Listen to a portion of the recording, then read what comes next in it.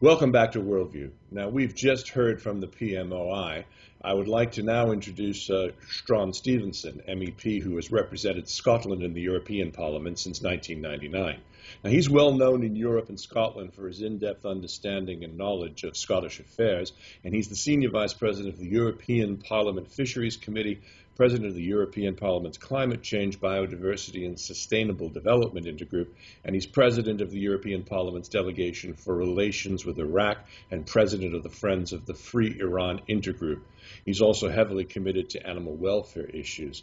Now, what we'd like to do as a conservative member uh, of the European Parliament, uh, we want to understand a little bit more about what has been going on with the uh, current situation that we've been covering in Camp Liberty, Baghdad. Uh, Struan Stevenson, welcome to Worldview. Good morning. Good morning. And I noticed uh, on your website in a tweet from your account, you said, quote, the massacre of innocent refugees in Camp Liberty, Baghdad is a crime for which the Iraqi government, U.S. and UN will be held to account. Now, beyond a number of politicians speaking out, what can and should be done by these two entities? And I guess it begs the question, how will they be held to account? Well, you know, I was due to lead a small delegation to Iraq. Uh, we were supposed to go yesterday. In fact, the uh, parliamentary services pulled the plug on our visit last Wednesday evening on security grounds.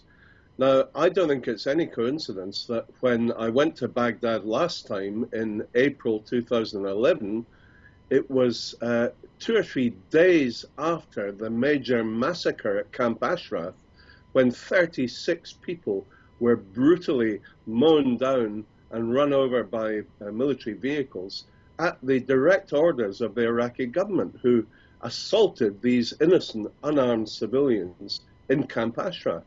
That, of course, then dominated the focus of my entire visit.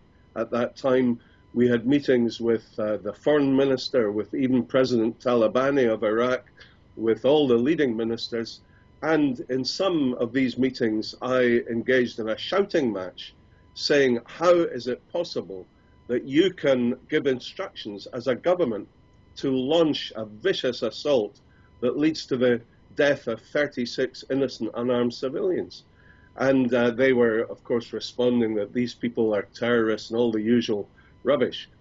So it was based uh, then on this agenda that when I returned to Europe, the UN and the US began to uh, accept the Iraqi uh, message and started putting pressure on us in Europe that if you don't get these people out of Iraq, and first of all, that means you have to get them relocated to Camp Liberty, where they can be interviewed individually by the UN uh, High Commissioner for Refugees. Once they have refugee status, you can move them out of Iraq to uh, countries of safety.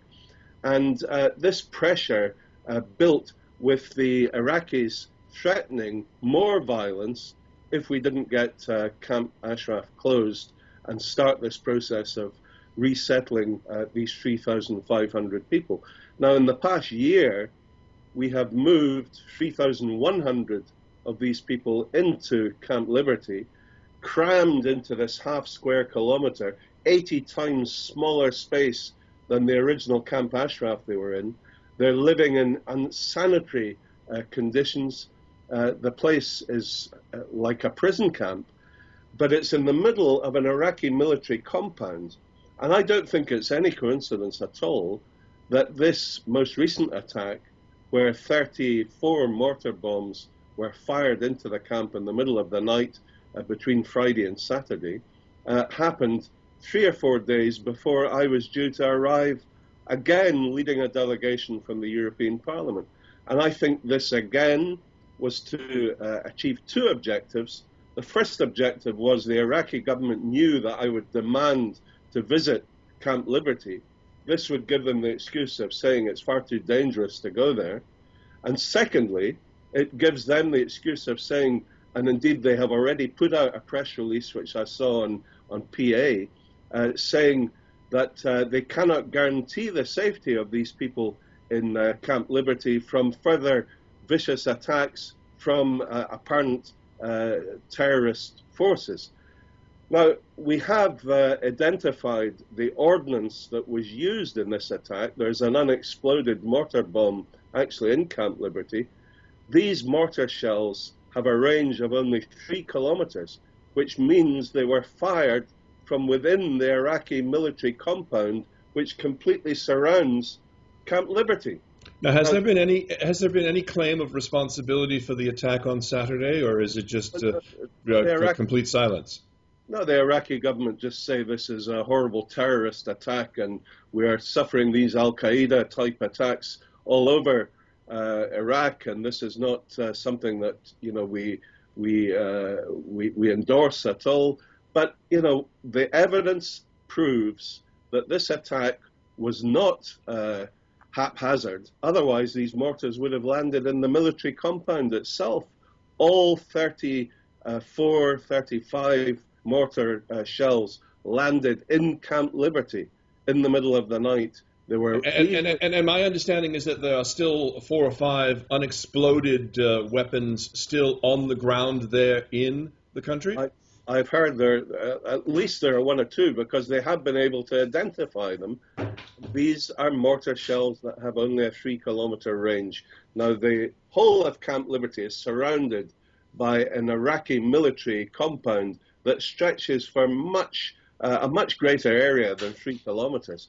There is no question uh, this attack has been done by the Iraqi military, and that means it was ordered by the Iraqi government. That is absolutely shocking and unforgivable, and they are rapidly becoming a pariah state if they allow this kind of behavior to continue.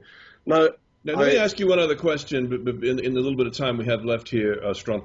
Um, this whole situation, Camp, Camp Ashraf, now Camp Liberty, has been a political football by almost, and it's been kicked around by so many different groups, from the you know United States to the United Nations to Iraq to the involvement perhaps of Iran to uh, concerns by the European Parliament, the UK Parliament. When is something going to be done, and what can the European Parliament do to assure the safety of these 3,100 uh, or 3,400 people that are essentially men, women, and children that are stuck there in the middle of the desert?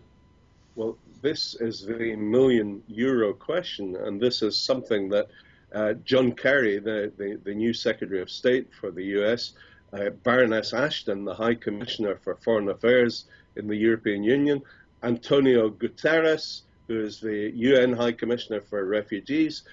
All three of these people must now demand that, first of all, Iraq stops its murderous behavior. Secondly, Guterres must declare that Camp Liberty is a refugee camp to give these people ultimate protection. And thirdly, we must rapidly get these people out of Iraq and to places of safety. I was assured by Dan Fried, the American ambassador responsible for Ashraf and uh, Camp Liberty, that the Americans were going to take hundreds of these people. Why haven't they done so?